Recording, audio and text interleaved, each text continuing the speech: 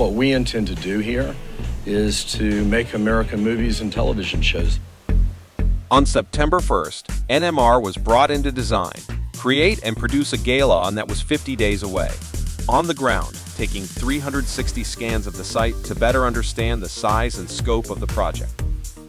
Concept was pitched to Gray TV with the idea to pay homage to the cars that were made at that GM assembly plant and intertwine that with Gray's history and the history of Atlanta.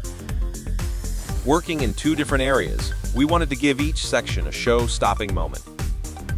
In the soundstage, we had a lighting system that had 500 independent moving lights and outside we had a drone show.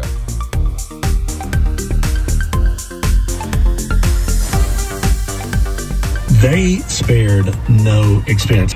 It was amazing. So let the dream be real. Let the show begin. One, two, three.